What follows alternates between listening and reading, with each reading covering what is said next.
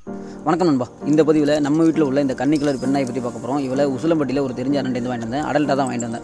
கிட்டத்தட்ட இப்போதைக்கு வயசு ரெண்டு வயசு ஆக போகுது. இவ ஆல்ரெடி ஒரு தடவை குட்டி போட்டிருக்கா. மூணா ஹிட் வந்து அதில் நம்ம மேட் பண்ணி அதில் சேனை பிடிக்கல. இப்போதைக்கு மேடம் நல்லா இருக்காங்க. ஸ்ட்ரக்சர் பார்க்கும்போது தெரியும். நல்லா டபுள் பாடி நல்லா ராஜம் அடிக்காது. நல்ல உயரம் நல்ல நெடுவமான உடம்பு நல்ல வால் சன்னம் நல்ல நெஞ்சு இறக்கம் ஹெவி போன் சைஸு கண்ணு பார்த்தோன்னா ஃபயர் ஐஸ்ன்னு சொல்லுவோம்ல அந்தளவுக்கு நல்ல குடித்தலை அது போல் நல்ல ஒரு ஸ்ட்ரக்சரு அருமையான ஸ்ட்ரக்சர் அந்த ஒரு ப்ரொஃபைல் பார்த்தோம்னா அதில் ஏதாச்சும் ஒரு குறைபாடுகளோ எதுவுமே சொல்ல முடியாது. அந்த அளவுக்கு ஒரு நீட்டான ப்ரொஃபைல் நல்ல உயரமும் கூட அதே சமயத்தில் நல்ல வீட்டு காவலுக்கும் ஏற்ற ஒரு பெண்ணாய் அப்படின்னு சொல்லலாம். அதனால் விரைவாக இவங்கள்ட்டேருந்து நம்ம லிட்டர் மீட் எடுக்கும்போது இவங்கள்ட்டேருந்து கிடைக்கிற குட்டிகள் வந்து வேறு லெவலில் இருப்பாங்க. அதனால் இப்போதைக்கு இவளுக்கு இடையில இந்த ஸ்கின் இஷ்யூ வந்தது உங்களுக்கு தெரியும். நம்ம சேனலை தொடர்ந்து பார்க்குறவங்களுக்கு.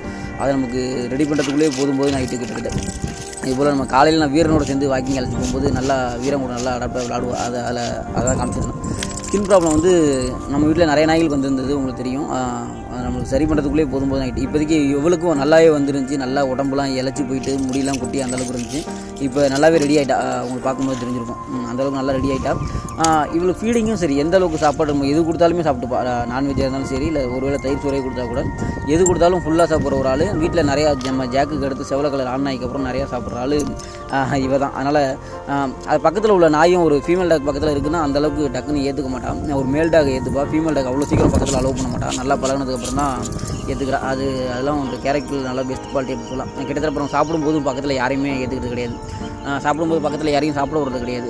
வேறு ஏதாச்சும் பக்கத்தில் நாய் கட்டிடணும் சாப்பிட சாப்பாடு சேர்த்து வைக்கணும் அப்படின்னா இவன் சாப்பிட்டதுக்கப்புறம் டக்குன்னு பக்கத்தில் இன்னும் நாய் சாப்பிட்ற தட்டுக்கு ஓடி அந்த தட்டை பிடிக்கிட்டு வந்து சாப்பிட்றது அந்த பழக்கம்லாம் உண்டு. இவரை எனக்கு ஆக்சுவலாக ரொம்பவே பிடிக்கும். நமக்கு வந்து கலரை வச்சு நாயை பிடிக்காது என்றைக்குமே அந்த நாய் நடந்துக்கிற விதத்தை வச்சு தான் எல்லாருக்குமே பிடிக்கும். இப்போ கன்னி நாய் கன்னி நாய் இப்போ கன்னி நாய்னா கன்னி கலர் வச்சு பிடிச்சிருமா? அப்படி கிடையாது. அதோட கேரக்டர் வச்சு அதனால் நம்ம நம்மள்ட்ட நாய்க்குட்டி கேட்குறவங்க ஒரு குறிப்பிட்ட கலர் சொல்ல சொல்லி கேட்கும்போது நாளே நிறைய விளக்கம் கொடுத்தது உண்டு. ஏன்னா நமக்கு என்ன தான் பிடிச்ச கலராக இருந்தாலும் அந்த நாய் வந்து நமக்கு பிடிச்ச கேரக்டரில் நம்ம நினைக்கிற வேலையை செய்யலை வீட்டில் கார்டிங் சரியில்லை வாழை சுட்டிட்டு படுத்துட்டு அப்படின்னா விரும்ப மாட்டோம். இதுவே நமக்கு பிடிக்காத கலராக இருந்தாலும் வீட்டில் வெண்டாஸ்டிக்காக இருக்குது கார்டிங் பக்காவாக இருக்குது நமக்கு பிடிச்ச மாதிரிலாம் நடந்துக்குது அப்படின்னா நாய் ஆட்டோமேட்டிக்காக பிடிக்க ஆரம்பிச்சிடும் அதனால் கேரக்டருக்கு தான் நமக்கு முக்கியத்துவம் கொடுக்கணுமே தவிர கலருக்கு இல்லை. அதனால் இவ வந்து கன்னிநாயிலே நமக்கு பெஸ்ட்டாக சூட்டபிள் ஆகிட்டான் நம்ம வீட்டில் பூமி கூட கொஞ்சம் சைட் டைப் தான். இன்னொரு ஃபீமேல் இருக்குல்ல. ஆனால் இவ அப்படி கிடையாது. இவ எல்லா விதத்துலையுமே பக்காவாக உள்ள ஆள். அதனால் நமக்கு கலர் முக்கியத்துவம் கிடையாது. அதனால் கன்னி அப்படிங்கிறனால ஸ்பெஷலாக என்றைக்குமே நம்ம சொல்ல விரும்ப மாட்டோம். உங்களுக்கு தெரியும். ஏன்னா நம்ம வீட்டில் அது இன்னும் தேவை? பல கலர்களில் இந்த வேட்டை நாய்கள் வச்சுருக்கோம் அந்த வகையில் இவ வந்து நம்ம வீட்டில் அமைஞ்சது அப்படிங்கிறது ரொம்ப அருமையான விஷயம். இன்னும் நம்ம இந்த இதில் வாங்கின இடத்துல அந்த அண்ணனுக்கும் எனக்குமே இன்னும் ஒரு நல்ல உறவு ரிலேஷன்ஷிப் பண்ணிட்டு இருக்குது அப்படின்னு சொல்லலாம். ஏன்னா ஒரு நாய்க்குட்டி வாங்கினதுக்கப்புறம் நாய்க்குட்டி வாங்கினவங்க சரி நாய்க்குட்டி கொடுத்தவங்களும் சரி நல்ல உறவில் இருக்கிறது ரொம்பவே முக்கியம். ஏன்னா நாய்க்குட்டி கொடுத்துட்டோம் அப்படின்னு சொல்லிட்டு அதுக்கப்புறம் பேசாமல் இருக்கிறது நாய் வாங்கினவங்களும் அதுக்கப்புறம் அவங்க நாய்க்குட்டி வாங்கினவங்கள்ட்ட பேசாமல் இருக்கிறது. அதெல்லாம் இல்லாமல் ரெண்டு பேருமே நல்ல தரப்பில் அவங்க உறவில் மெயின்டைன் பண்ணும்போது நிறைய நாய்களை பற்றி நிறையா விஷயங்கள் தெரிஞ்சுக்கலாம். ஏ டு Z, நோய் மேலாண்மையாகட்டும் நல்ல நாய்களை பற்றி வேறு எங்கெங்கே இருக்குங்கிறது தெரிஞ்சுக்கலாம். அதெல்லாம் நம்ம ஆஹ் என்கிட்டயே இப்போ நிறைய பேர் இப்போ நம்மள்கிட்ட நாய்க்குட்டி கேட்குறவங்கள கூட நாய்க்குட்டி வாங்கிட்டோம் பிரதர் இதை எப்படி மெயின்டைன் பண்ணுறதுன்னு கேட்குறவங்க தான் அதிகம்.